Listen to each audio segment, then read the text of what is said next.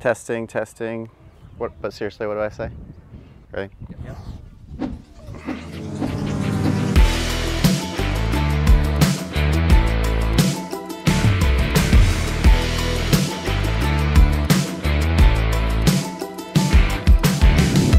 Hold on, this is all wrong. I wish I could blame it on El Tulignado, but I'll explain in a minute.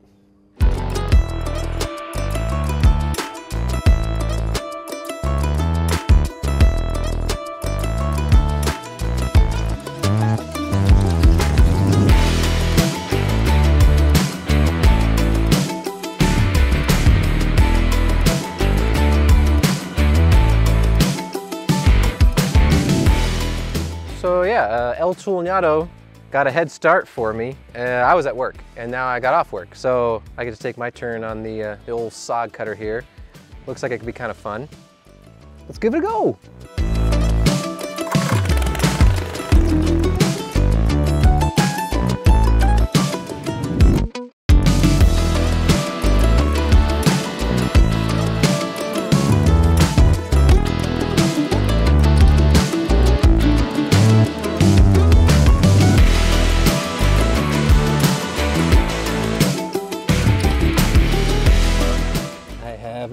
Used a sod cutter before. I had no clue what to expect.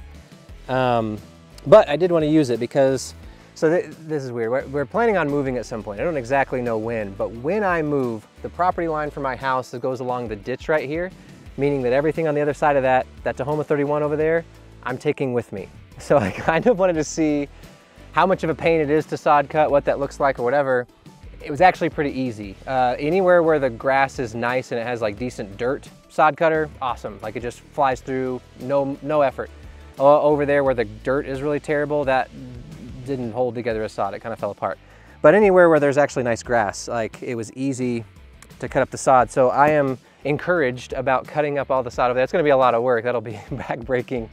But that's my plan is to cut that up over there and take it all with me. Oh, I guess I haven't told you what I'm doing with cutting up this sod. Uh, the reason we're doing this snake sort of pattern all through the lawn, putting in an irrigation system. Um, so anyway, that's there's a teaser for you. That's what's coming up next. But putting in an irrigation system, and this is the way that the path will go for the piping. And I chose to cut the sod for the fastest recovery possible. We're gonna roll it all up, take it off to the side. We gotta do our trench uh, in the spot, obviously, where we took the sod up. We'll put the dirt over. I toyed with the idea of putting plastic down and for the trencher to put all the dirt on the plastic. But as you saw, this goes throughout my entire yard and I think that, that would be a huge pain. So my plan is just to trench it, let the dirt fall over on the grass and then we'll just like shovel it all back in and then rake it really good to get every little tiny little rock and everything back into the trench before we put the sod back on top. And then um, it's gonna settle. You know, I will probably pull out some rocks. There'll be stuff to pull out. So we'll put the dirt back, put the sod on top, and over time, the ditch where the irrigation is gonna settle. So I've already got a load of sand way out yonder, if you can see that.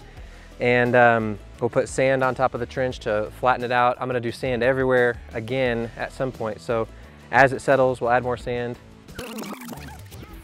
Okay, so here's what happened. I don't, what do you, how do you say, read things? So I have an email, it's, it's all the instructions on the irrigation system and I have all the instructions. I just, I, I read it, I've seen that before. Anyway, blah, blah, blah. I thought it was supposed to go in order. So I'm going in order of all of the sprinkler heads. No, it does need to go in order, but not like, it doesn't have to go right up next to the sprinkler head.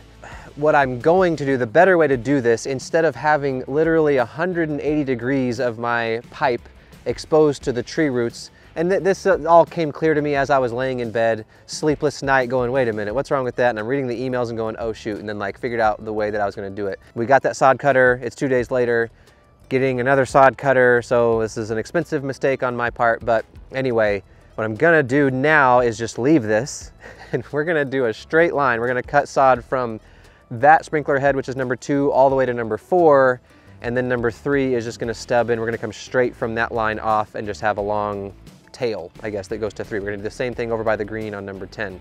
Um, so it's gonna be better that way. It was, all of this was just unnecessary. So uh, moral of the story is maybe have your plan all written out before you start cutting up sod. And I'll see you later.